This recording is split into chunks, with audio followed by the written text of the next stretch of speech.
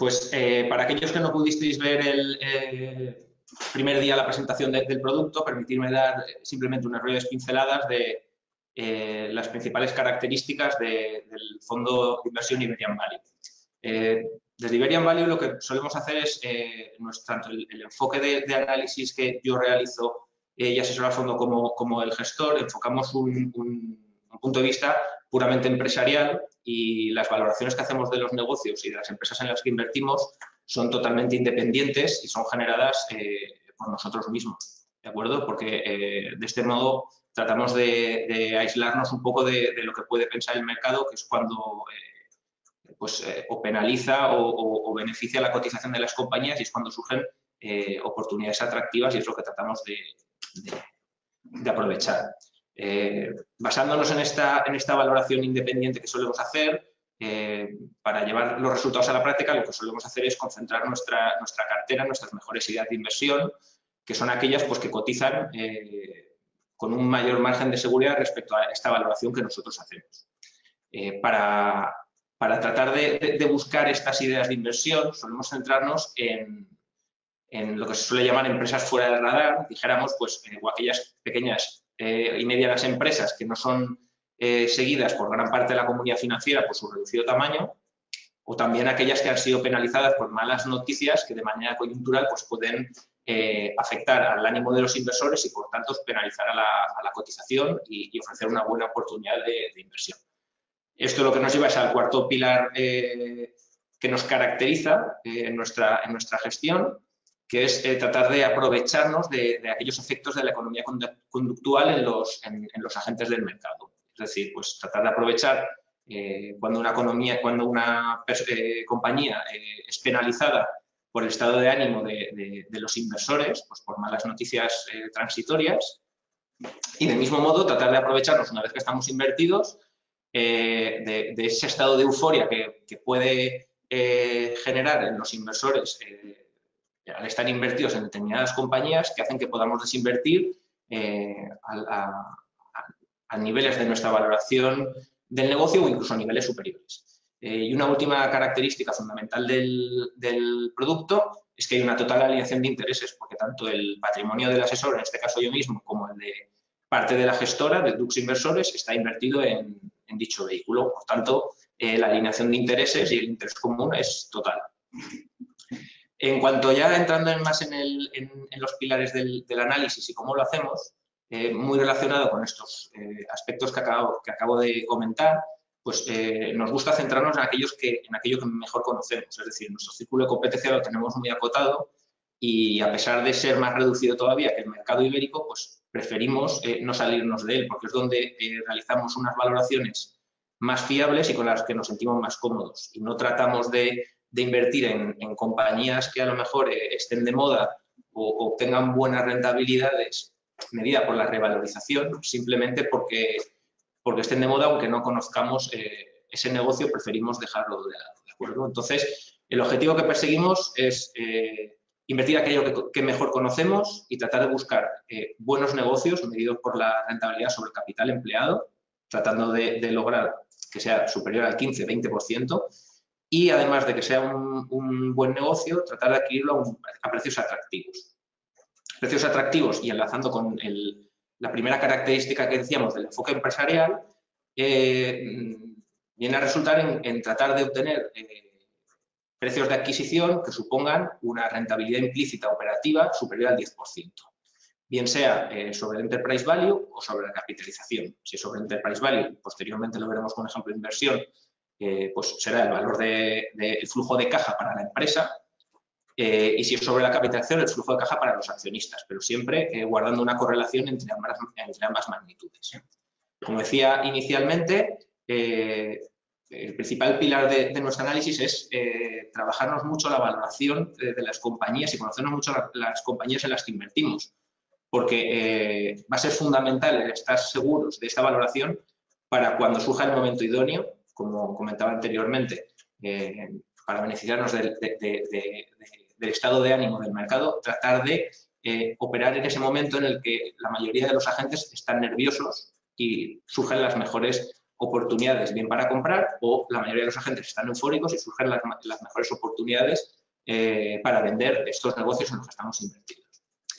Entrando ya un poco más en lo que es ya el, periodo de revisión de la cartera, en el cuadro vemos un poco pues, el segundo semestre de 2019, el año completo y la rentabilidad obtenida durante todo el periodo de, vida del, del, vehículo, que está a punto de cumplir cinco años.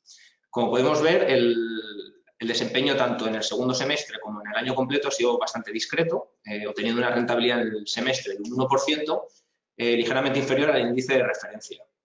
Eh, comentar que las magnitudes, las rentabilidades expuestas al índice de referencia no incluyen dividendos, ya que para pues, las, bases de datos a las que tenemos acceso, pues para nosotros es mucho más fácil exponer esto, pero siempre decimos que es sin incluir dividendos para que no lleven a, malentendido. Como vemos también en el 2019, el comportamiento del fondo ha sido eh, inferior al índice de referencia y en nuestro caso concreto, eh, prácticamente toda esta diferencia de rentabilidad se ha dividido a la, inversión que hicimos en, día, que posteriormente daremos alguna pincelada más. A pesar de este, de este discreto 2019, que ha sido eh, una tónica habitual eh, bastante generalizada en, vehículos de inversión de renta variable de este tipo, enfocados en, la inversión en valor. Eh, a pesar de ello, el fondo pues, eh, en sus cinco años de vida lleva un desempeño razonablemente positivo, al obtener una rentabilidad cercana al 4% anual frente al 3% de caída del índice sin dividendos. Aquí podemos ver el desempeño del fondo desde su, desde su origen, eh, así una pincelada así un poco eh, meritoria que convendría, que convendría, resaltar es que eh, se ha obtenido un 20% de rentabilidad en los últimos cinco años con una exposición muy inferior al mercado, apenas una beta de un 0,70, lo que supone pues, bastante menos, menos riesgo asumido que, que el mercado. En cuanto a las principales variaciones de las compañías en las que estábamos invertidos, podéis ver que hay varias compañías que han, que han, obtenido más de un 10%, pues en los casos de Acerinox, que posteriormente también comentaré, como EDP Indra, hasta caídas muy significativas como eh, Prosegur Cash o Prosegur, arrastradas por, el, por la vuelta del régimen peronista al gobierno de Argentina, y sobre todo eh, supermercados día, con una caída del 80%, como posteriormente comentaré, debido eh, a, la, a, la, ampliación de capital que tuvo lugar al final del ejercicio. De mismo modo y vinculado a, estas revalorizaciones, pues eh, teniendo en cuenta el, peso de cada una de estas inversiones en la cartera, aquí tenemos las principales contribuciones a la rentabilidad durante el segundo semestre, que como comentábamos era de un más 1% aproximadamente y eh, frente al 3% del, del índice de referencia. Como podemos ver, pues prácticamente esa diferencia viene eh, completamente explicada por la caída del 2,8% que ha supuesto el impacto de la caída del 80% de día en, el valor liquidativo del fondo, ha supuesto un impacto de casi el 3%. Por otro lado, pues tenemos eh, las contribuciones negativas del EGNOR, Cash y Gestam, pues, importante peso eh, en la cartera. Y por otro lado, tenemos las, positivas, entre las que podemos destacar pues, Acerinox, Valurec o, o Miquel y Costa. Eh, resultado un poco de, la operativa que hemos realizado durante, durante el semestre y que básicamente eh, se ejecuta en función del descuento con el que cotizan eh, las compañías respecto a, la valoración que nosotros hacemos de los negocios, ¿de acuerdo? pues destacar los principales, las principales reducciones del peso en cartera han sido Corporación Alba y EDP, que eran dos inversiones significativas que teníamos en cartera y que en el primer, la primera parte del, segundo semestre eh, se comportaron eh, significativamente bien mientras el mercado caía. Entonces aprovechamos, ahí cotizaban con poco descuento, no cotizaban a, a, su valoración, a nuestra valoración de su negocio, pero sí que veíamos oportunidad de rotar de compañías que, cotizaban con poco potencial a aquellas otras que cotizaban con mucho más potencial, ¿de acuerdo? Entonces liquidamos esa posición y del mismo modo en Prosegur Cash redujimos la posición casi un 1,5%, en este caso porque superaba el 5% del límite legal individual por compañía y en Mafre eh, vendimos también un, 1,3 de la posición que suponía eh, salir de la cartera completamente en Mafre al principio del ejercicio. Por su parte, eh, las principales aumentos de peso fueron, en el caso de, empiezo por abajo, en caso de técnicas reunidas y Miquel Costa, para, apenas un 0,5% vienen totalmente por revalorización de las inversiones. En el caso de Melia Hoteles, por compras realizadas, bueno, eh, Melia y Tubacex, compras adicionales, solo que en el caso de Melia Hoteles, como veremos a continuación, supone una nueva inversión en la cartera. Y en el caso de Supermercados Día, eh, a pesar del 80% de caída en la cotización provocado por eh, la ampliación de capital que tuvo lugar a final de ejercicio para solucionar sus, sus problemas financieros, tenía una deuda muy elevada, y la, la ampliación de capital pues, fue enormemente dilutiva, 10 acciones nuevas por una antigua supone eh, un impacto del 90% eh, simplemente por el, por el, volumen de nuevas acciones que se verten al mercado, pues eh, Iberian acudió, íntegramente a la ampliación de capital, eh, no ya para evitar el, efecto tremendamente dilutivo de la misma, sino por el precio al que se realizaba, porque el precio, aparte de que con la operación soluciona en gran medida los problemas financieros, el precio al que, a, que cotizaba era muy atractivo. Entonces, eh, la compensación de la caída de la participación existente más eh, acudir íntegramente a la, ampliación de capital supuso incrementar eh, la inversión en el fondo en un 3,6%.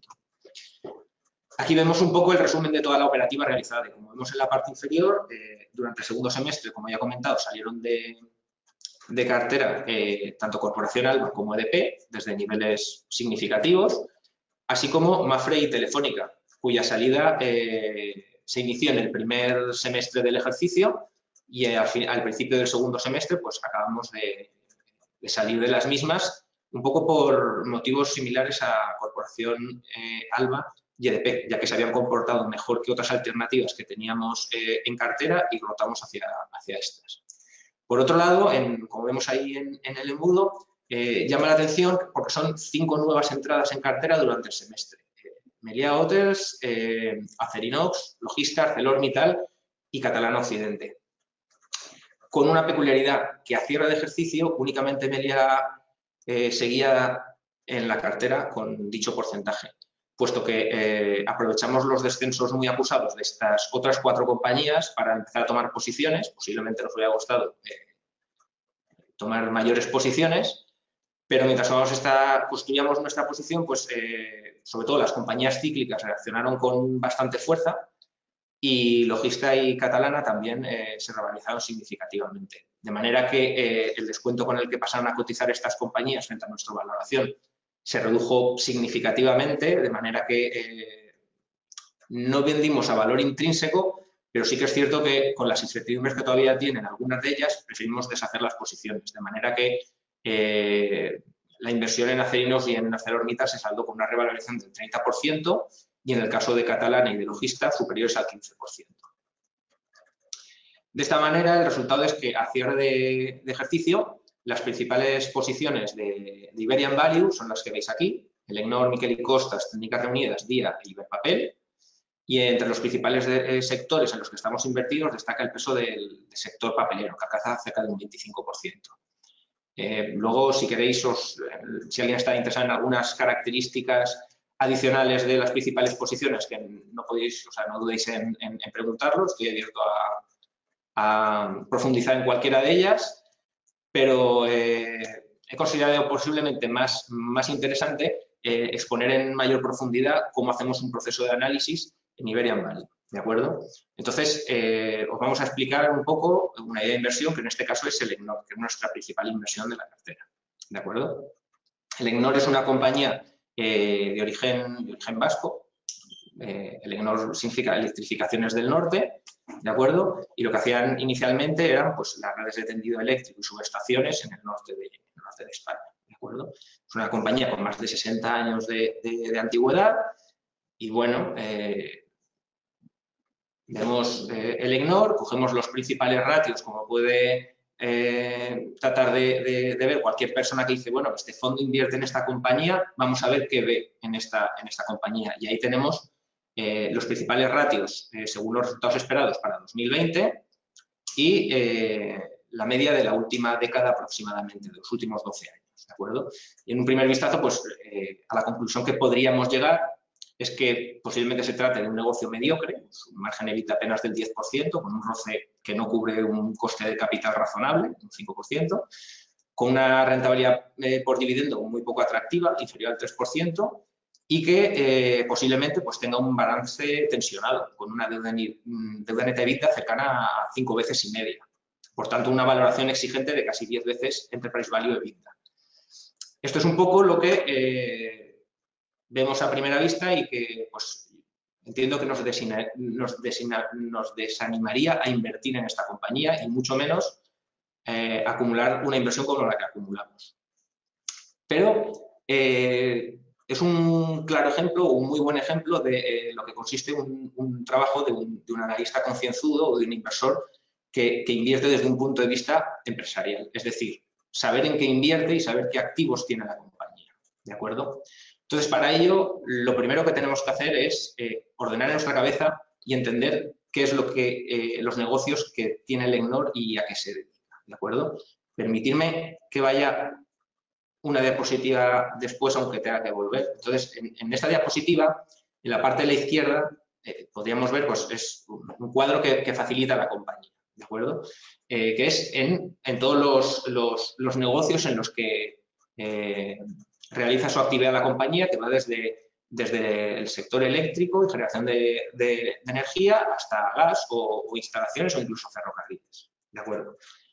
Pero lo que hay que tener claro es que cada uno de estos negocios tiene una naturaleza distinta en función de en la división en la que esté. Me explico.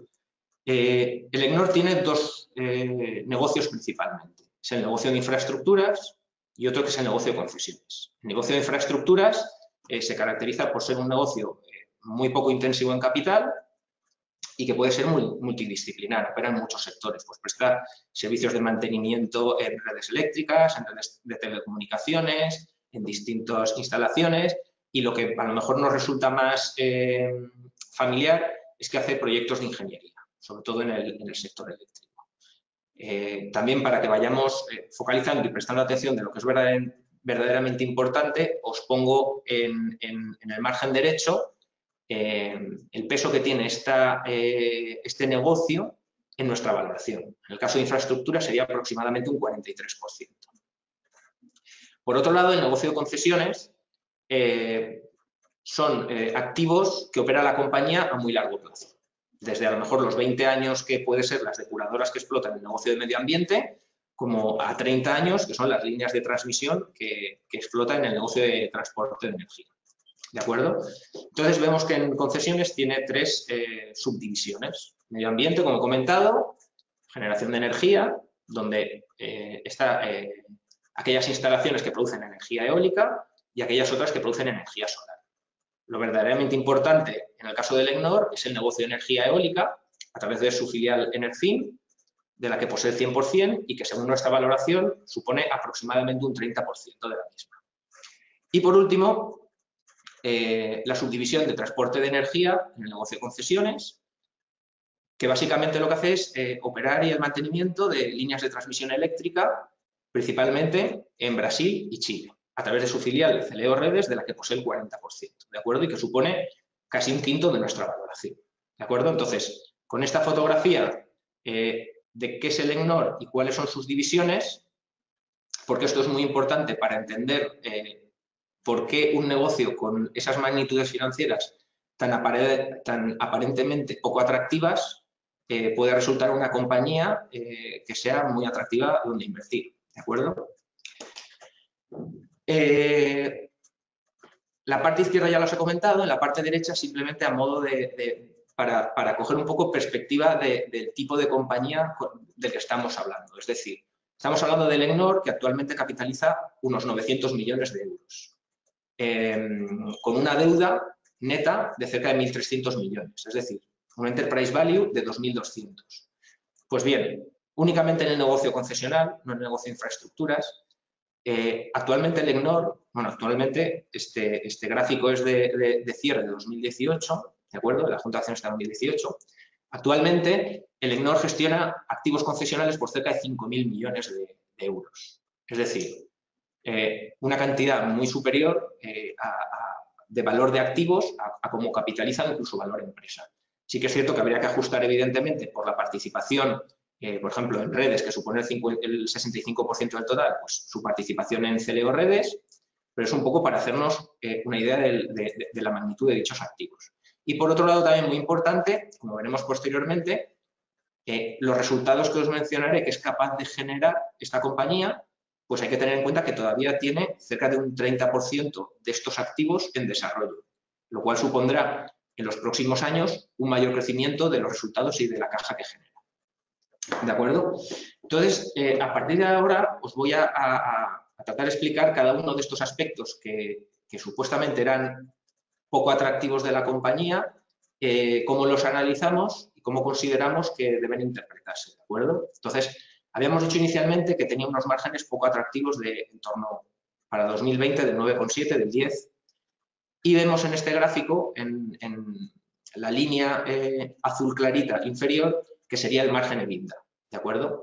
Pues conociendo ya la naturaleza del, negocio del EGNOR, eh, a nivel de resultados y por tanto a nivel contable hay que destacar una peculiaridad y es que eh, el, negocio de, concesiones en su vertiente de líneas de transmisión de energía eléctrica, las líneas de transmisión en Brasil son concesiones a 30 años, ¿de acuerdo? Eh, y por la normativa contable en el país, eh, dijéramos que el, el EGNOR se contabiliza anualmente las ventas de operación y mantenimiento de, eh, dicha infraestructura. No así el importe por, por haber realizado la construcción de la infraestructura. Y lo que le permite la normativa contable es registrar ese ingreso diferido por la vida útil de esa infraestructura. De manera que eh, se contabiliza como un ingreso financiero una parte de ese importe de la construcción por cada año que mantiene la, explotación.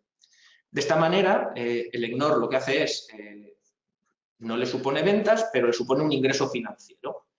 Eso cualquier analista o cualquier análisis rápido que hagamos, al ser un ingreso financiero, pensamos a lo mejor que es un interés por la posición de caja que mantiene la compañía y, por tanto, no debería influenciar a eh, la capacidad de generación de caja operativa.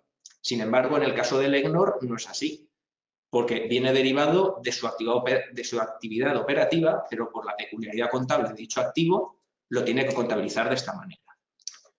De este modo, nosotros lo que hacemos es reclasificar eh, no todos los ingresos financieros, sino única y exclusivamente aquellos que proceden de la aplicación de esta norma contable, que es lo que el EGNOR eh, denomina ingresos asimilados, ingresos financieros asimilados. De manera que, rehaciendo los márgenes operativos reales de la compañía, obtenemos la línea eh, azul más oscura, de manera que su margen EBITDA ajustado eh, en los últimos años registra niveles cercanos al 14%, es decir, obtiene una rentabilidad superior real cercana al 30%. ¿De acuerdo? Por tanto, los márgenes no son tan eh, reducidos como parecía.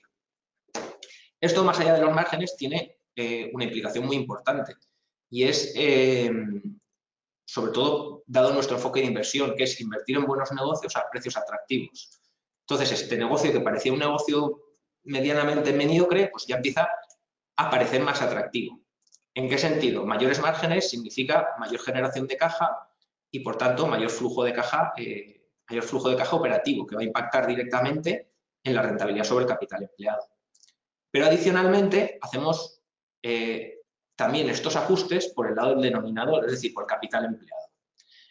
Eh, un análisis rápido en el que queramos ver eh, cuál es la rentabilidad sobre el capital empleado de una compañía haciendo un screening o de manera muy fácil, pues lo que nos puede llevar es directamente capital empleado es igual a fondos propios más deuda neta, es decir, todos los recursos que emplea. Esto lleva a que eh, el mercado, con las magnitudes que puede facilitar el EGNOR, eh, sopese que eh, el EGNOR pues, tenga una rentabilidad mediocre, pues un roce cercano al 7% durante la última década. ¿De acuerdo? Sin embargo, nosotros haciendo los ajustes en resultados que hemos realizado y ajustes similares en capital empleado, tales como pues eh, las líneas de transmisión suelen dos, tres años en construirse. Eso se contabiliza como inmovilizado financiero, pero es son proyectos que están en curso eh, y que no están generando resultados. Por tanto, eh, distorsiona la verdadera capacidad que tiene la compañía y la verdadera calidad del negocio de la compañía. Entonces, nosotros del capital empleado excluimos eh, todo el capital que está invertido en ese momento en proyectos que no están generando resultados, así como aquellos intangibles que por normativa contable suponen una contabilización eh, en el balance, pero que no suponen un desembolso de capital, tal como algún tipo de concesión que lo que se contabiliza es por el valor actual de los derechos futuros, ¿de acuerdo? En conclusión, lo que obtenemos es que el, roce depurado, que es capaz o que realmente genera la compañía durante los últimos años ha sido de un 21% frente a apenas el 7% que, que estima el mercado. Eh, decir únicamente también, en cuanto a esto, que por ejemplo, para calcular el 21% hemos excluido el, dato de 2012, que vemos que repunta eh, enormemente, repunta hasta el 46%, y es justamente porque en 2012 eh, hay proyectos en curso por cerca de 400 millones de euros, que serían dos líneas de transmisión que hizo en Brasil que estarían a punto de entrar en operación, pero no generaban resultados y, por tanto, no era correcto relacionar eh, ambas magnitudes si no generaba resultado con el capital que se estaba eh, empleando. ¿De acuerdo? Eh, de esta manera, llegamos a lo que es la verdadera capacidad de generación de caja que tiene la compañía, que es lo verdaderamente importante y en lo que nos centramos a la hora de, de valorarla. como podemos ver en el gráfico de la izquierda, la capacidad de generación de caja de la compañía, salvo un par de altibajos pues en 2009, en, 2011 y luego en, 2015, prácticamente genera una, senda creciente de, generación de caja. Eh, según nuestros cálculos y normalizando el flujo de caja para la empresa, normalizándolo de, de las inversiones y del working capital, desde el 2010 a 2019, en los últimos 10 años, bueno, 2019 ya, ya está cerrado, según nuestras estimaciones, ha generado un flujo de caja eh, de 230 millones de euros anuales lo que ha supuesto una rentabilidad operativa implícita eh, media del 12%, lo cual son niveles muy atractivos y que hoy por hoy hay muy pocas compañías que, los ofrezcan. Eh, en el gráfico de la derecha, eh, lo que he hecho ha sido ponerlo en perspectiva de su desempeño operativo y la evolución o cómo lo valora el mercado. ¿De acuerdo? Entonces, eh, con la doble flecha, lo que vemos es la, tendencia de fondo del, flujo de caja normalizado que es capaz de generar la compañía, que como pongo arriba, ha crecido entre 2006 y 2019 a una tasa anual del 6%, mientras que la línea eh, oscura, más gruesa, que es la cotización a cierre, tomando el punto inicial y el cierre de 2019, ha registrado una evolución de, un de una caída de un 1,5% anual. Juntando ambas magnitudes, lo que eh, podemos apreciar es, en, la línea gris, es un, continuo abaratamiento de la compañía. Es decir, se está produciendo una creciente distorsión entre el precio de mercado de la compañía, que más o menos se mueve en una, franja relativamente eh, destacable entre 12 y 8 euros, pero la continua creación de valor por parte de la compañía con crecientes flujos de caja.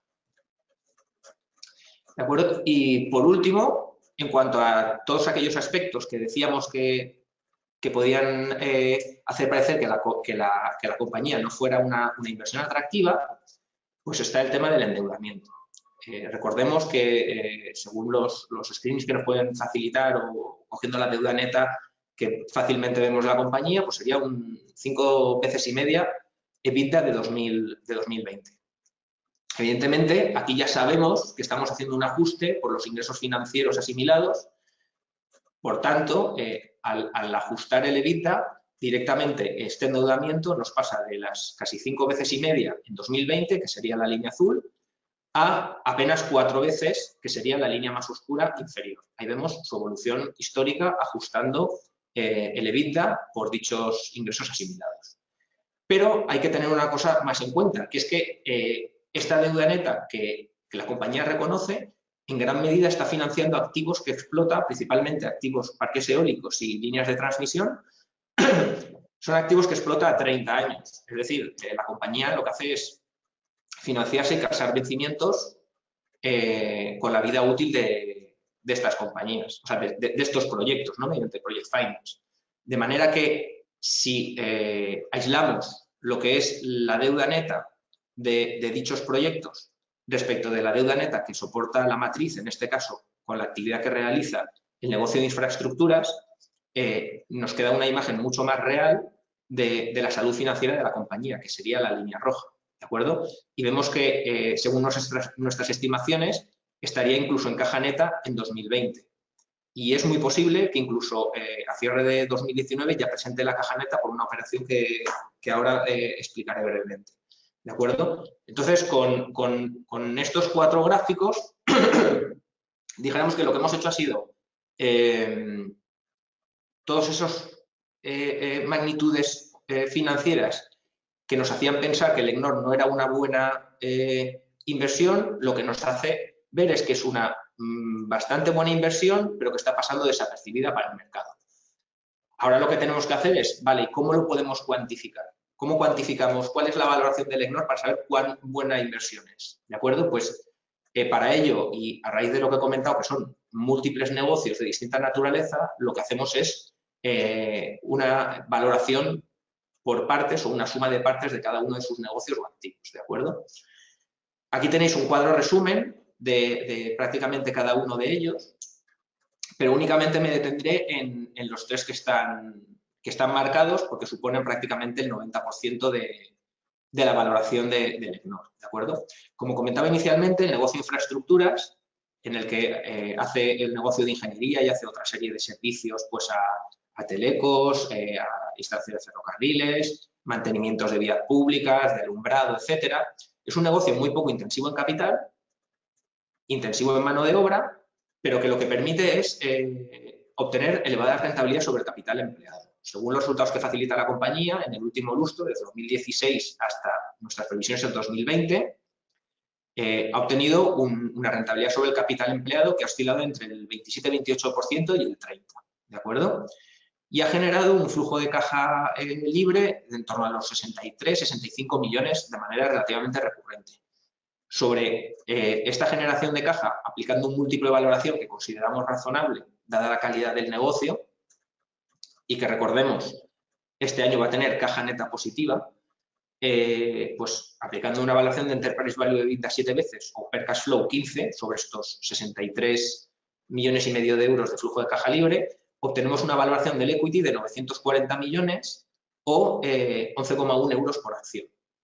Eh, antes de seguir, aprovechar la casualidad de que entornos actuales, actualmente cotiza 10,7, pues a modo de, resumen, dijéramos que comprando actualmente eh, el EGNOR, todos los activos que voy a describir a continuación nos los llevaríamos gratis, porque estaríamos adquiriendo únicamente infraestructuras. Y de hecho es una valoración que es bastante eh, fiable, dada la recurrencia eh, de la compañía, el buen posicionamiento de la compañía en seguir obteniendo estos resultados y sobre todo que es una valoración conservadora de aplicar un múltiplo 15 a un negocio que con, con roces cercanos al 30%. ¿De acuerdo?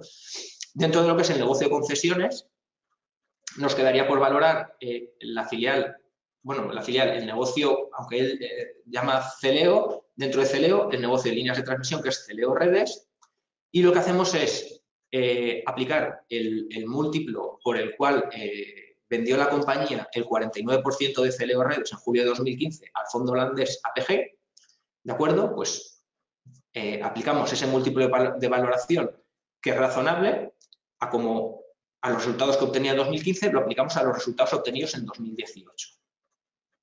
Y restamos la deuda neta, que sabemos que en los estados financieros me parece que tiene Celeo Redes, y obtenemos un equity cercano a 400 millones de euros, lo que supone 4,7 euros por acción. Eh, a continuación tenemos lo que es eh, las dos plantas fotovoltaicas más grandes que tiene, Dioxipe y Aries, ¿de acuerdo? Que apenas supondrían 0,7 y en medio ambiente, pues eh, unas concesiones de, varias depuradoras que tiene la comunidad de Aragón. ¿De acuerdo? A continuación, el, principal activo que nos faltaría sería Enercim, que es la, filial de, explotación de parques eólicos. ¿De acuerdo? Entonces, ahí desglosamos eh, la valoración que hacemos del negocio en España, en Brasil y en Canadá.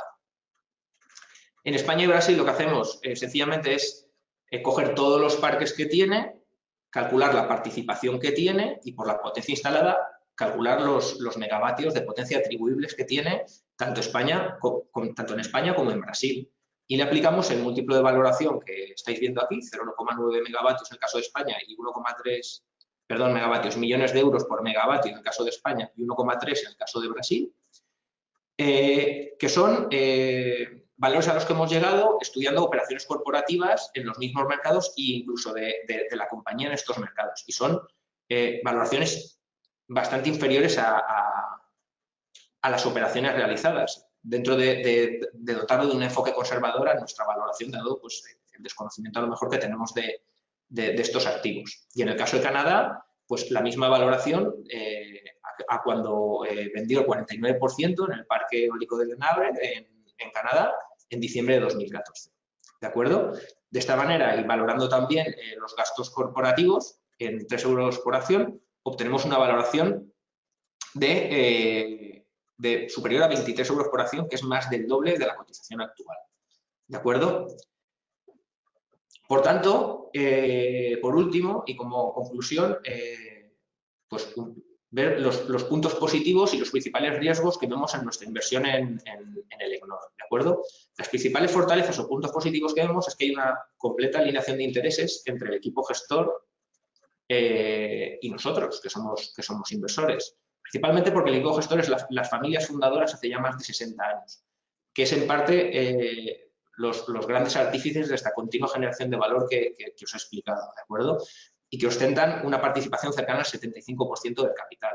Del 52% eh, a través de un vehículo sindicado, que es Cantiles 21, pero luego eh, distintas ramas y de distintas generaciones de la compañía, de, de las distintas familias fundadoras, tienen participaciones individuales en la compañía que podrían alcanzar hasta el, hasta el 75% del capital.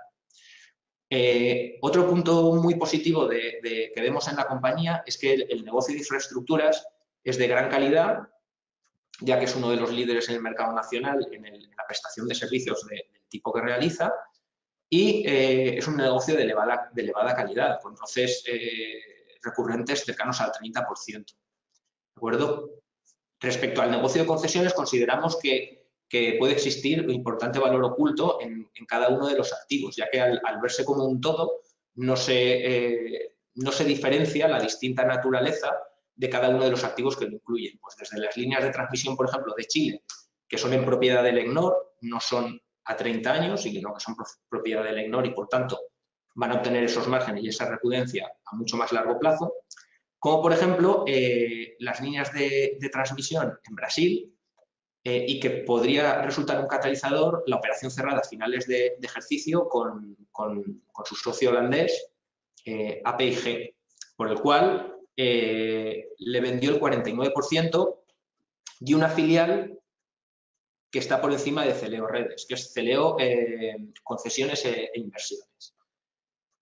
Para simplificar un poco la operación, aparte de, la entrada en caja que supone para, para el EGNOR el, precio de venta y que eh, facilitará la consecución de caja neta ya para este ejercicio en lugar de para 2020, eh, APG aportará a esta nueva, a esta filial que está por encima, eh, Celeo Concesiones e Inversiones, aportará su 49% de Celeo Redes que ya posee. Lo verdaderamente importante es que al aportar este activo tendrán que establecer un valor razonable del mismo. Y por tanto, nuestra valoración que, he explicado en la diapositiva anterior de cerca de 400 millones de euros por Celeo Redes en, esta filial, eh, eh, esta valoración calculada a partir de, la operación corporativa realizada en julio de 2015, pues nos, dará un valor de mercado mucho más real, eh, posiblemente que nuestra estimación, y consideramos que podría ser superior. Adicionalmente, hay un efecto posiblemente de, segunda ronda esta operación y que puede ser eh, muy beneficioso para, para, nosotros como inversores, es que va a simplificar mucho el, balance de, del EGNOR. Porque eh, al hacer esta operación y establecer la, eh, la gestión conjunta de Celeo Redes, va a desconsolidarlo de balance. Anteriormente lo consolidaba globalmente, va a pasar a consolidarlo por puesta en equivalencia. Esto es lo que significa es que una de esas cosas negativas que decíamos, que era que estaba muy endeudada, sacará de balance toda la deuda de Celeo Redes, que recordemos, un negocio concesional a muy largo plazo soporta mucha deuda, de manera que hará el balance mucho más eh, ligero. Y por otro lado, eh, aflorará lo que mm, a nosotros nos ha costado un poco apreciar, que es la bondad del negocio de, infraestructuras, su elevada eh, rentabilidad sobre capital empleado al operar con un negocio muy, muy poco intensivo en capital. Por otro lado, en cuanto respecto a, valor oculto de activos, consideramos que, la valoración tanto de, del parque, de los parques eólicos en Brasil como en Canadá, eh, somos conscientes que lo hemos hecho de una manera conservadora, pero eh, consideramos que valen bastante más. Principalmente porque son activos de gran calidad, porque los parques eólicos en Brasil tienen factores de carga medios del, 33%, hay un par de, de, parques que llegan incluso al 36 y al 39%, y el de Canadá está rozando el 40%, frente, para que nos hagamos una idea, al 25% que suele ser la media en los parques eólicos de España. Por tanto, ahí consideramos que, que, podría generar valor eh, con su venta y, posterior reinversión en otros activos. Y asimismo, por último, eh, activos que está en construcción, que está desarrollando, que, eh, como hemos visto por magnitudes financieras de años anteriores, cuando entren en explotación, en explotación contribuirán enormemente a un crecimiento eh, superior a como nos tiene acostumbrados el EGNOR del dígito, dígito simple en los resultados. Por tanto, podríamos eh, concluir que estamos adquiriendo una compañía de elevada calidad, con un roce del superior al 20% y a precios muy atractivos, con un free cash flow yield, free cash flow yield para, para la empresa del 12%, para el equity sería incluso superior, porque la, capitalización está más penalizada que los gastos financieros que, soporta la compañía y que incluso se podían ir al 14% tomando las magnitudes o los resultados operativos que esperamos para los dos próximos ejercicios. En cuanto a, los riesgos que, vemos y que asumimos que, podemos correr con, la inversión en esta compañía, es que consideramos que, reconocemos que es un conglomerado complejo de muchos negocios, que no todo el mundo, no todos los analistas eh, los, los trabajan de una manera tan minuciosa ni dedican tanto tiempo, por tanto, tiene que existir un catalizador que permita aflorar este valor, eh, posiblemente la operación que he comentado con, con APIG. Eh, también reconocemos pues, que la, contabilización de las concesiones de las líneas de transmisión en Brasil es un tanto compleja y engorrosa y no todo el mundo comparte el análisis o la visión que nosotros hacemos. Ahí puede generarse discrepancias. Por otro lado, la exposición a, tipos de cambio que pueda tener por su negocio en, líneas de transmisión de Brasil, con el real brasileño, o su introducción en mercados como Australia o Estados Unidos en el negocio de infraestructuras, pues al final el EGNOR reporta eh, leves crecimientos operativos, cualquier mala noticia por el lado del tipo de cambio, pues puede hacer que su crecimiento sea todavía inferior y eh, el mercado o esos analistas que se quedan más con, con la primera presentación de resultados, pues eh, vean que el desempeño es eh, mucho más débil de lo que realmente es, ¿de acuerdo? Eh, todo ello pues, puede contribuir, evidentemente, a, como decíamos, pues una empresa fuera del radar, muy poco seguida por, por, analistas que no tienen un gran renombre, pues que, que, prolongue todavía más la ya persistente miopía del mercado, porque ya son muchos los años que la compañía continúa generando valor para el accionista, pero el mercado no lo reconoce. Y por último, a nivel operativo, pues tal vez una creciente presión en, márgenes en el negocio de, ingeniería y, construcción de, plantas, pero aquí creemos que está eh, relativamente protegida, ya que gran parte de los, de los EPCs que realiza suele ser eh, para su negocio de concesiones y, por tanto, no suelen ser eh, pujas excesivamente agresivas en precio. ¿De acuerdo? Y eso es todo y por mi parte eh, quedo a vuestra disposición por si queréis que os haga alguna aclaración. Bueno, pues muchísimas gracias Santiago por, toda la explicación. Me ha parecido muy interesante. De hecho, ojalá tuviésemos tiempo para poder hacer este tipo de presentaciones con las principales empresas en cartera, porque creo que es una manera de, de acercar no solo la manera que tienes tú de ver las inversiones ¿no? y, de las empresas que conforman la cartera, sino también de aprender caso a caso todo lo que, todo lo que hay detrás, ¿no? Eh, de hecho, muchas de las preguntas ahora van eh, no tanto a cómo lo, cuál es esa visión ¿no? del proceso, sino a empresas en concreto. Eh, y sí que tenemos una un poco que va a estar más enfocada en la, en la filosofía, un poco en, la distribución de la cartera. Sí. Eh, voy comenzando y, vamos dando respuesta a todas las que nos dé tiempo y las que no las dejamos para contestar en el foro. Eh, en primer lugar, cuando definís el universo de empresas invertibles en cuanto a la capitalización bursátil, ¿os marcáis un mínimo en cuanto a factor de liquidez, el que a partir de cierta capitalización bursátil ya no, no miráis esas empresas? Eh, mínimo no nos marcamos. la limitación que tenemos es tiempo.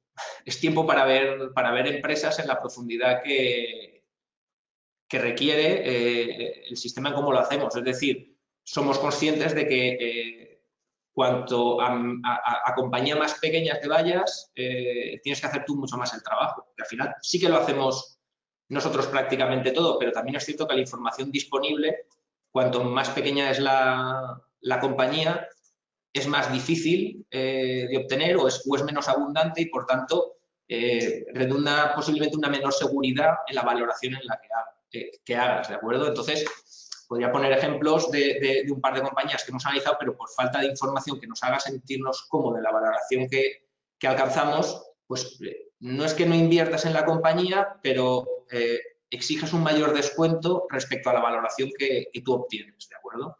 Entonces, eh, nos movemos mucho por eh, asignación de tiempo en eh, función de las posibilidades que tengamos de que esa compañía analizada nos permita invertir en ella. ¿De acuerdo? Muy bien. ¿Cuál es vuestra opinión sobre Día? ¿Qué perspectivas tenéis sobre la empresa, precio, objetivo y escenarios para deshacer la posición en cartera? Es la pregunta del millón para nosotros, bueno, para nosotros, para, nosotros que hemos estado invertidos mucho tiempo, ¿de acuerdo? En, creo recordar que en el webinar de presentación eh, ya comenté que es el, primer y principal error, de inversión que hemos cometido, ¿de acuerdo? Eh, es cierto que hizo eh, cosas muy mal, también es cierto que posiblemente pensábamos que el, mal desempeño de la cotización venía por eh, manos negras de fuera de, empujar la cotización para abajo. Yo creo que ha habido un poco de todo, ¿de acuerdo? Eh, la compañía eh, hay que coger, o sea, hay que darle tiempo porque evidentemente posiblemente hubo una lucha de poderes por bien que se hacía con, con la compañía y que lo ha pagado ha sido el accionista y el inversor. Evidentemente ahora, y como comenté en el trimestre anterior, eh, eh, fue un error de inversión y fue un error de inversión porque pensábamos que eh, no cumplió uno de los requisitos, que es alineación de intereses, no había un inversor de referencia, ahora lo tenemos. que este inversor de referencia contribuyó a que fuera mal en, en trimestres pasados, no lo sabremos. Desde luego sabemos que el inversor de referencia ahora va a hacer todo lo posible por poner en valor los más de mil millones que ha invertido en la compañía. A nivel ya operativo, todo esto es eh, cosas que podemos opinar cada uno, ya a nivel operativo, en el tercer trimestre ya empezaron a verse eh, cosas positivas, cosas positivas tales como el, EBITDA ordinario ya no generaba pérdidas, en el tercer trimestre estanco, se han acometido eh, medidas dolorosas, pero que sí o sí hay que hacer, como asignar capital de manera eficiente, es decir, no voy a mantener eh, tiendas abiertas por generar negocios y me están drenando caja, que era lo que pasaba, y las ha cerrado.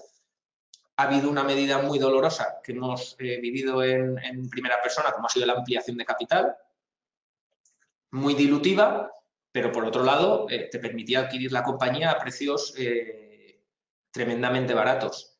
Ahora estamos invertidos, confiamos en que, logre, dar la vuelta a, la situación, principalmente porque eh, hay un activo detrás que es eh, una de las redes más capilares de, distribución en alimentación que existe en España y ahora eh, tiene un equipo de primer nivel que puede darle la vuelta a la situación. Lo que suele pasar, pues que cuando las cosas van mal se entra en una espiral que cada vez van a peor. Intente, entendemos que a partir de ahora van a, tratar de darle la vuelta y que esta espiral vaya mejor. ¿Por qué digo esto? Porque, por ejemplo, la situación financiera en un negocio de distribución, eh, la confianza es crucial. O sea, el negocio de distribución de día, antes de todos los problemas que tuvo, eh, es un negocio de, mucha calidad. O sea, el negocio de distribución tú estás cobrando al contado y estás pagando diferido. O sea, son eh, negocio de circulante negativo y rentabilidad sobre capital empleado muy elevada, superiores al 30%. Cuando el negocio operativo eh, comienza a ir mal, a crear desconfianza, a no crecer en ventas como se esperaba, los proveedores eh, recortan eh, periodos de cobro. Esto lo que genera es tu circulante negativo, que era una gran ventaja, se vuelve en contra tuya. Tienes menos circulante negativo, tienes que financiarlo, te aumenta la deuda. Es un poco en la voragine que se, que se, que se entró y que le llevó, entre otras cosas, a la situación en la que está. Una vez acometida la ampliación de capital eh, y solucionado a medio plazo la situación financiera, parece que ya tienes todo eh, preparado para enfocarte en lo verdaderamente importante, que es darle la vuelta al negocio y centrarte en lo operativo. Y vemos palancas positivas que ayuden eh, a, cambiar el sentimiento de mercado. Es decir, eh, en el tercer trimestre estanco, a pesar de todos los impactos de los financieros, cuando digo de los financieros es de las dificultades financieras, el EBITDA ordinario no generó pérdidas. A partir de ahora, con la ampliación de capital, los gastos financieros tienen que, caer significativamente porque la deuda, eh, han desaparecido la deuda, pues cerca de un tercio de la deuda. Con esto, la relación con proveedores van a tener que normalizarse. Eh, van a empezar a gestionar el circulante de una manera más eficiente, van a recuperar caja del circulante, van a reducir deuda que financiaba el circulante. No sé cuánto tardará, pero varios trimestres, a una compañía no se le da la vuelta en dos o tres trimestres. Nosotros somos conscientes de que es muy probable que estemos aquí pues como mínimo un par de años. Nuestra valoración, eh, nuestra valoración en el entorno actual eh, de enorme incertidumbre de qué resultados van a obtener, para el año que viene en torno a 0,15, para el año que viene. Es como todo, eh, publican resultados y lo reviso y a lo mejor se va un poco más arriba, un poco más abajo. Una valoración normalizada de lo que es capaz de generar la compañía durante los últimos años, en una situación de estrés como la que ha tenido, con un circulante razonablemente normalizado. Creo recordar, por hacernos, por hacernos una idea, eh, antes de la ampliación, perdonadme si me voy un poco en las cifras, antes de la ampliación la deuda neta era en torno a 1.800. Después de la ampliación, restando lo que obtienen de capital, unos 1.600. Pues según nuestros cálculos, en los últimos 7-8 años el circulante se había deteriorado unos 700 millones, que supone más, más deuda. Claro, si logras revertir parcialmente esta situación, de los 1.100 de deuda neta que tienes, si consigues darle la vuelta al circulante en 400, 500 millones, te vas a 700 millones de deuda neta. Si consigues darle la vuelta al EBITDA, no llegas al EBITDA normalizado de los años anteriores a, todos estos problemas, sino que te vas a un 60 un 70%, te estás yendo a una deuda, deuda neta EBITDA 2021 de dos veces y media tres. En ese entorno y con esas magnitudes lo estaríamos valorando a dos, tres años vista en torno a 0,40, en, en torno a 0,44. Hay mucha incertidumbre, igual que te digo que la valoración del negocio de infraestructuras del EGNOR es muy fiable, esto es eh, hacer un poco eh, encaje de ovillos con determinadas magnitudes financieras y ver algo que sea razonable en una situación razonable donde la compañía eh, se normalice. Pero es muy difícil de, de, acertar y, de creerse también lo que, los números que haces. Muy bien, muchas gracias. De hecho, creo que estaba más que completa la, respuesta. Ahora nos hacen dos preguntas sobre tesis que, por si las habéis estudiado, ¿qué opinión tenéis? Una es sobre Robi y otra es sobre ENCE. No y sí. Eh, Robbie no la hemos, no, no, no, hemos tocado. O sea, cuando hay que ser honesto, el tiempo da lo que da. Eh, no hemos estudiado ni en profundidad nada Robbie. Y ENCE sí que la hemos mirado, sí que la hemos valorado, sí que la tenemos en, en radar. Eh, siendo sincero, da potencial.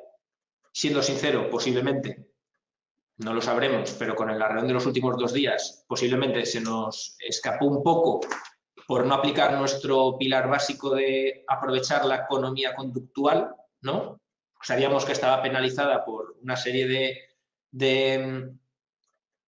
por una serie de problemas que tiene, no, por un problema que tiene, que es la planta de, de Pontevedra, pero consideramos que más importante que eso, el tema de la planta de Pontevedra lo, consideramos como una oportunidad, que es lo que ha provocado en gran parte el castigo, la, la animadversión hacia ENCE. Eh, lo que vemos con más recelo es el tema del precio de la celulosa, que sí que es un, catalizador mucho más importante para determinar eh, pues un poco eh, si el C puede seguir cayendo o no. Pero ahí ya entras en un problema que, que no deberíamos entrar, que es el, tratar de jugar el market timing. ENCE hoy por, hoy, por hoy da, da potencial con una valoración razonable de lo que es únicamente su negocio celulosa en Nadia y eh, su negocio de, biomasa, incluso sin tener eh, Pontevedra. Con esos dos activos da algo de potencial. Si juegas a que eh, Pontevedra va a seguir existiendo, da mucho potencial. Entonces el tema la tenemos analizada, la tenemos valorada estamos eh, esperando pues un poco el, sentido, porque es que tampoco hay señales eh, de, clara vuelta de que se estabilice, digamos, el problema de stocks que había en celulosa y que estaba penalizando a los, a los precios de, la celulosa. No hay claro, pero eso, eh, siendo sincero, creo que es un problema nuestro, porque a 3, 4 años vista es muy buena inversión. Querer arañar algo, pues posiblemente nos puede llevar a a dejar escapar esta oportunidad, lo cual quiere decir que a lo mejor en, próximas eh, oportunidades pues ir tomando una pequeña posición ya para, para ir metiéndola en cartera. Muy bien. En el caso, en relación al EGNOR que nos has comentado, nos has presentado, eh, comentan que el alto apalancamiento del negocio de las concesiones, eh, ¿no tendríamos también que considerar el pago de intereses de deuda como salida del carácter operativo, dado que el coste de las actividades de explotación y según la recalificación que realizabas de los ingresos financieros? Eh, a ver, quiero decir, iba a decir, cada maestrillo tiene su librillo. Yo directamente la meto en, financieros como tal.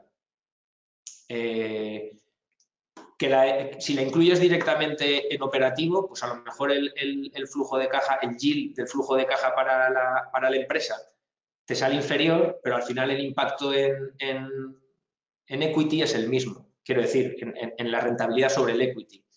Eh, al final yo lo que he puesto, he tratado de, trabajamos con muchas magnitudes y con varias valoraciones. Perdón, al final lo que he puesto dijéramos que es la que eh, veía que podía eh, reflejar un poco más lo que hacemos, que es el ver otras cosas que el mercado se le puede pasar por alto. Que introducimos los gastos financieros en, el flujo de caja operativo, el flujo de caja operativo te saldrá inferior, pero el que, con el que trabajamos también, que es el flujo de caja para el equity y el yield que este genera, se quedaría totalmente igual. Y estamos hablando de que, lo, lo he comentado durante la presentación, que incluso este yield es más atractivo que sobre el valor empresa, porque eh, la capitalización está más penalizada que la carga financiera que paga por estos, por estos gastos financieros. Eh, se podría discutir, porque sí que hay gente, hay una vertiente que dice que como es negocio operativo, eh, todos los intereses financieros que se devengan por inversiones operativas que necesito, pues se tiene que meter en, el flujo caja operativo. Nosotros separamos más eh, los intereses financieros puros es lo que nos lleva del flujo de caja para la empresa flujo de caja para el equity. Y esto es una peculiaridad eh, del EGNOR, que lo que hemos hecho ha sido reclasificar, eh, reclasificar, dijéramos, los, eh, los ingresos financieros, pero, pero simplemente asimilados. O sea, por hacer una analogía, no reclasificamos los, los, ingresos financieros que puede obtener a lo mejor de una previsible elevada tesorería. Por poner el ejemplo en, otra ingeniería, eh, técnicas reunidas, en los, en los, años que tenía caja neta positiva de verdad, quiero decir que no tenía tanta deuda, no como ahora, generaba unos gastos financieros, unos ingresos financieros, perdón, que suponía una caja adicional. Pero nosotros en la valoración no lo metíamos como un, un mayor EBIT porque tiene una caja, una elevada caja neta. No, o sea, valoramos por un lado lo que genera el negocio y por otro lado eh, lo, que, lo que te cuesta que ese negocio esté en marcha por su estructura financiera. ¿De acuerdo? Eh, no lo veo descabellado como, como dice quien, quien, es la persona que hace la pregunta. Nosotros lo metemos en gastos financieros, pero que al final en el equity el impacto es el mismo. También en relación con el EGNOR, eh, nos pregunta que, qué es lo que está viendo el mercado, o más bien, qué es lo que no está viendo el mercado y cuál sería el reflejo en la cotización para que los precios no estén reflejando todo el potencial, ¿no? Tú lo, has comentado un poco al final de con las conclusiones, pero a ver si ya refrescamos un poco esta, esta parte. Sí, la verdad, a ver, la verdad es que no lo sé y, a ver, no lo sé y al final sacas excusas para decir, si no está en la cotización es por algo. A ver, lo primero y principal, puede ser un error de valoración nuestro, ¿no? Podría ser. Yo, desde luego, eh, veo otras cosas que me pueden llevar a justificarlo, como es pues que eh, si capitaliza 900 millones y tiene 75% eh, de accionistas de control y luego mm, empiezas a analizar otros inversores destacados que tienen un 3, un 5%, es que te queda un free float a lo mejor hice en su día los cálculos eh, a lo mejor de 100 millones. Entonces, claro, ya hay muchas compañías, muchas compañías, muchos eh, gestores y, gestoras que se sale del radar y que no van a invertir eh, en esa compañía por esa limitación de, free float, ¿de acuerdo? La pregunta del millón, ¿el catalizador para que el mercado se dé cuenta? Pues vuelvo a ser sincero, pensaba que, el bueno, pensaba o quería pensar que el catalizador eh, podría ser la operación que anunciaron, de, que he explicado con, con APIG. No porque supiera que se iba a hacer, sino cuando la hicieron, eh, dieron un par de directrices y sí que dijeron que eh, iba a suponer importantes resultados positivos por, la, por la actualización del valor razonable. Cuando cerraron la operación a finales de 2019 que comentaron en noviembre cuando lo anunciaron que darían eh, mm, más cifras y darían el, resultado, pues cerraron la operación y no dieron más, más, más cifras. Entonces, ahí se le ha pasado un poco la oportunidad a, la compañía de poner en valor un activo que considero que, vale más y ellos saben que vale más. Que no lo han sabido aprovechar o no lo han querido aprovechar, ahí ya no, ya no, ya no entro, pero desde luego también es cierto que se hace difícil pensar eh, que un catalizador de, la naturaleza de que alguien le compre un activo de los que tiene a un precio próximo a nuestra valoración y muy superior al mercado, entendemos, la verdad es que es difícil porque no creo que eh, el EGNOR se quiera desprender de su negocio de infraestructuras o se quiera desprender de, de su 51% de, de, las líneas de transmisión o incluso de una participación en los parques eólicos. Quiero decir, es una compañía que lo que ha demostrado es que lo que es muy eficiente asignando capital, eh, genera caja, se queda la que considera que puede reinvertir con un retorno atractivo que hemos visto que lo sigue manteniendo por encima del 20%, pero desde luego no sé qué catalizador eh, podría producirse para que de repente el mercado dijera, vaya, esto vale mucho más. No tengo ni idea y, se ha pasado una oportunidad que, consideraba que, era una muy buena oportunidad para que, para que esto sucediera. Bueno, al final, si, la valoración está bien hecha, ¿no? Que es un poco también lo que, con toda la explicación que nos has hecho, al final el mercado eh, debería acabar reflejando el, valor de esa empresa, ¿no? De hecho, luego esta última pregunta va un poco también en relación, esto sería un poco más a cómo comprar una empresa, ¿no? Ahora has comentado un poco cómo salir, cuando, reconoce, cuando ves que el, mercado reconoce el valor que tú has visto en esa empresa, ¿no? Y, ahora al revés sería, eh, porque has hablado un poco de, sobreesperar el, precio de cuadro, pero eh, ¿qué, cómo afecta el coste de oportunidad? Eh, ¿Cuánto esperas a la hora de, comprar una empresa? ¿O, no es mejor pagar ya a un precio justo y esperar que el mercado luego lo reconozca o cómo lo ves? O sea, la pregunta realmente si merece la pena pagar un precio justo y adquirir la empresa eh, antes. Dijéramos de que cotice con descuento, entiendo. Así es, efectivamente. Eh, vuelvo a vuelvo a es que estamos hablando de una cosa que cada persona tiene cada persona cada analista cada, cada gestor tiene su tiene sus experiencias tiene su, su, track record tiene su percepción y tiene su y tiene su formación quiero decir. Eh, hoy día está más más en boga que nunca el tema de, de, value versus growth no de lo que estabas comentando, eh, comprar empresas por su precio justo y esperar, ¿no? A que, a que pasen de estar a su precio justo a que pase a cotizar a, su precio justo dentro de dos o tres años y como crecen los beneficios, tú te llevas la revalorización de ese crecimiento de los beneficios. Eh, hay que ir, yo considero que hay que ir con, mucho cuidado con las, a ver, con las modas y lo que y con lo que se piensa que es nuevos paradigmas y demás, sobre todo en la inversión. Eh, si lees biografía eh, sobre, sobre inversión y sobre inversión en valor, es paradójico, pero eh, una de las cosas que, comentan y que dicen que, que genera más retornos, normalmente es comprar barato antes que comprar empresas de alto crecimiento. ¿De acuerdo? Entonces, no es, algo que lo diga yo o que, que, quiera promulgar yo, pero es lo que, si lees eh, biografía de este tipo, hay un montón de, gráficos y de estadísticas que te lo dicen a muy largo plazo, ¿de acuerdo? No en los últimos dos o tres años.